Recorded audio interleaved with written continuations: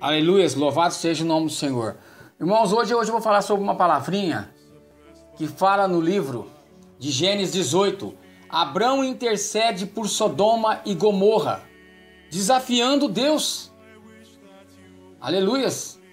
Eu quero dizer para os irmãos que o grande diálogo entre Abraão e Deus em Gênesis 18 é um ponto de mudança na história do mundo da fé.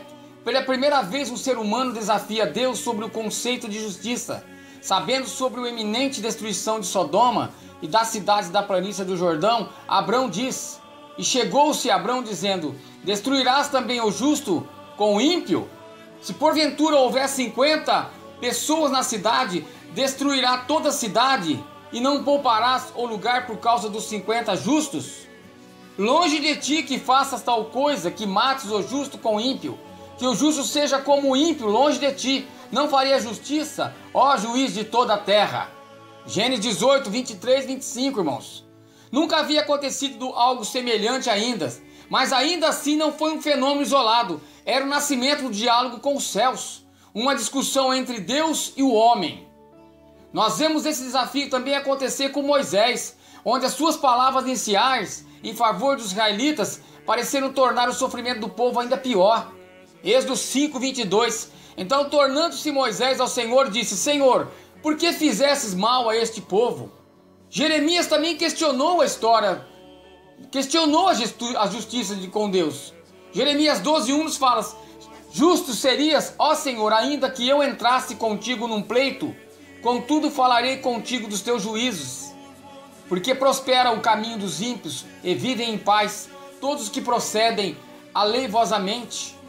Da mesma forma, o profeta Abacuque, ele fala com Deus. Abacuque 1, do 2 ao 3 fala: Até quando, Senhor? Clamarei eu, e tu não me escutarás. Gritar, gri, gritar-te-ei violência, e não salvarás. Por que razão me mostras a iniquidade e me fazes ver a opressão? Pois que a destruição e a violência estão dentro de mim, havendo também quem suscite a contenda e o litígio. É este o argumento, irmãos, que se estende para além da Bíblia, encontrando espaço nas tradições. Eu quero dizer para os irmãos que nós vemos aqui nesse texto que vários homens da Bíblia se contenderam com Deus, falaram com Deus, puseram o seu problema a Deus, a necessidade de Deus.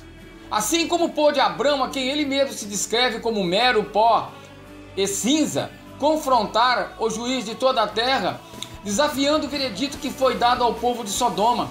A resposta a esse fato já havia sido dada pelo próprio Deus nas palavras de um texto imediatamente anterior. Nós vemos aqui em Gênesis 18, 17 e 19: E disse o Senhor: Ocultarei eu a Abraão o que faço, visto que Abraão certamente virá a ser uma grande e poderosa nação, e nele serão benditas todas as nações da terra, porque eu o tenho conhecido e sei que ele há de ordenar a seus filhos e a sua casa depois dele, para que guardem o caminho do Senhor, para agir com justiça e juízo, para que o Senhor faça vir sobre Abraão o que acerca dele tem falado. Aqui fica claro que esse discurso divino, irmãos, é um convite a Abraão para falar com Deus. Este é o significado de ocultarei eu a Abraão o que faço. E não é, um só, e não é só um convite a Abraão para expressar a sua opinião. Deus, em seu discurso, ele traz antecipa, antecipadamente palavras que gostaria que Abraão usasse em seu argumento sobre a justiça. Justiça e juízo constituem, irmãos, o caminho do Senhor, que Deus quer que Abraão ordene e ensine a seus filhos. E Abraão, em seu discurso, usa precisamente essas palavras. A resposta, irmão, serve apenas para intensificar a pergunta. Deus parece querer que Abraão desafie o seu veredito. Mas por quê? Será que Abraão sabia de algo que Deus não sabia? Ou seu senso de justiça seria maior que o de Deus? Essas duas sugestões, irmãos, são absolutamente absurdas. Deus sabe mais do que qualquer ser humano possa sequer imaginar. É a justiça divina e é a única realmente justa e completa. Deuteronômio 32,4 nos fala que Ele é a rocha, cuja obra é perfeita porque todos os seus caminhos justos são. Deus é a verdade, não há nele injustiça, justo e reto. O principal, o princípio fundamental é que Deus reina regido por direito e não por poder. Deus não é somente ou meramente poderoso. Deus, irmãos, ele é ético. É a busca daquilo que um ético é o que traz Deus, é a humanidade a um ponto comum, a aliança baseada na justiça e retidão. Quer dizer para os irmãos que o povo de Sodoma e Gomorra, então o que Deus quer de Abraão?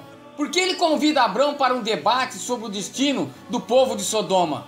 Não era possível que o veredito divino pudesse ser questionável, pois as escrituras deixam bem claro por duas vezes que eles eram grande, grandemente culpados. Ora, eram maus os homens de Sodoma e grandes pecadores contra o Senhor. Gênesis 13, 13. Note que há uma, uma ênfase nessa sentença. Os homens, primeiro, eram maus, grandemente, pecadores.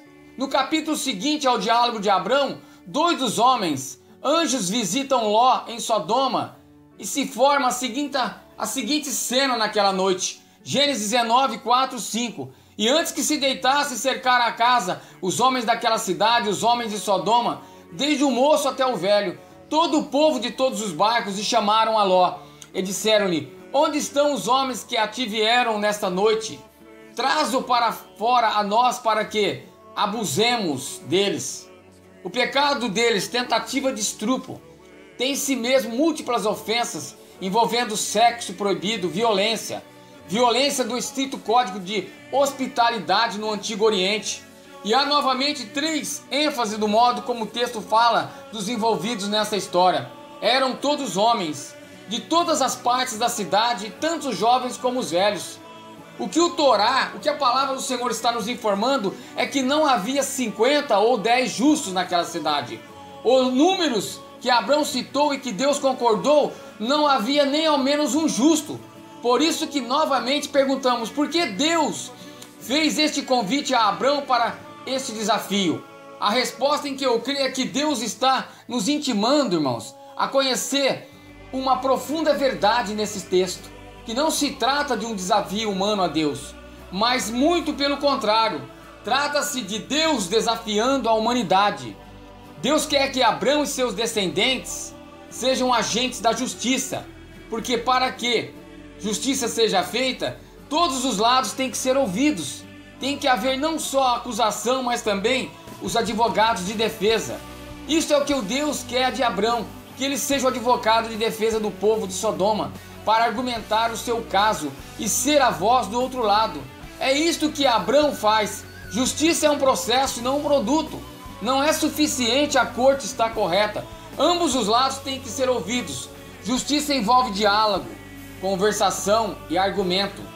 Justiça, irmãos, envolve a habilidade de ver as coisas em diferentes perspectivas. Mesmo a justiça divina só pode ser justiça se houver o direito de defesa da outra parte. E Deus chama Abraão e os profetas que vieram após ele para esta missão arquétipica do Supremo Advogado. Esta é uma verdade extraordinária. Deus precisa do ser humano para ser seu parceiro na administração da justiça, irmãos. Por isso mesmo que da descendência de Abrão surgiu aquele que é a voz constante junto ao Pai, que intercede por nós para que sejamos inocentados na corte celestial de justiça. Defesa está feita por um homem, Jesus Cristo homem. 1 Timóteo 2:5, porque é um só Deus e um só mediador entre Deus e os homens, Jesus Cristo homem Abraão não pode, mesmo com toda a sua justiça, livrar os moradores de Sodoma do seu veredito. Mas há um advogado supremo que tem esse poder de nos salvar da ira vindoura. Salvação preparada para todos aqueles que creem no seu nome e que confessam a ele, irmãos, os seus pecados e os deixam. Essa é a voz dissente dos céus, do qual Abraão foi figura tipológica. Se há um acusador, graças a Deus que há também defesa disponível para todo aquele que por ele clamar. Eu quero dizer para os irmãos que 1 João 2,1 nos fala que se alguém pecar, nós temos um advogado para com o Pai, Jesus Cristo, o justo. Louvado seja o nome do Senhor. Aleluias.